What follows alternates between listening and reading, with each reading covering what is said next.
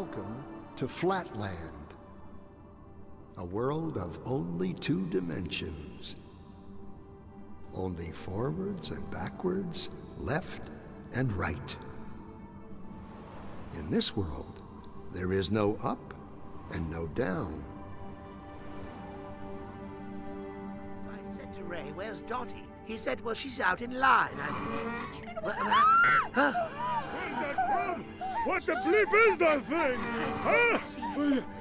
In this world, the two dimensional beings that live here have no concept of three dimensional objects. These two dimensional flatlanders have no understanding of cubes, spheres, tetrahedrons, or yours truly. From their 2D perspective, my 3D finger looks something like this. What the bladder is that? Run!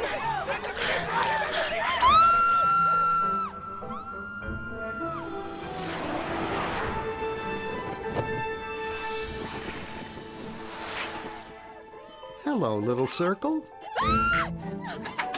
Uh-uh. Fear of the unknown. Or should I say, not yet known? It's a puzzle. If we see only what we know, how does anyone ever see anything new? The unknown. How do we ever get out of our box? Hello, little circle. Don't be afraid. Who said that? Where are you? This is always the tricky part to explain. I'm in another dimension, another space. I am above you. Never, never use that word. What word? The A word. Above? It's forbidden. well, what do you think it means? I don't know. And I don't want to know. You can be severely punished if you use that word. Are you a ghost? I hope not. I just have a different perspective than you do. I can see things in a way you can't yet. Oh, yeah? Like what? Well, okay, you have a safe hidden in your pantry. and inside it, you have 12 coins, a will, and a passport. How did you know that? What are you? Are you a god? Well, no more than you. You see, since I am above you, in the third dimension, I can see inside things in your world. Third dimension? Are a crazy ghost. There's only two. Look. So, if I were to touch the inside of your stomach, how would I do that?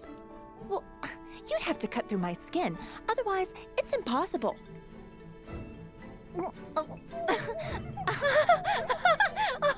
Stop! Stop! No. Ready for more? More what? Dimensions, Oh, directions. uh, no. Yes, but. Oh, but there aren't any. More? More? More? What will happen to me? What will I become? You'd have to become it to know. Okay. Excellent.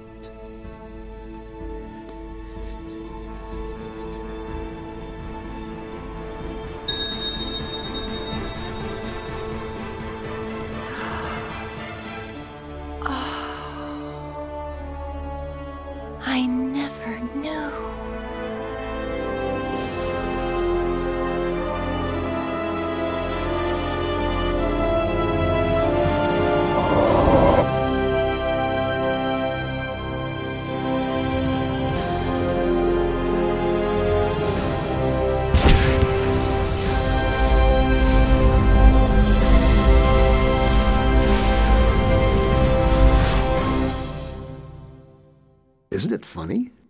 That which we are most afraid of is what thrills us the most.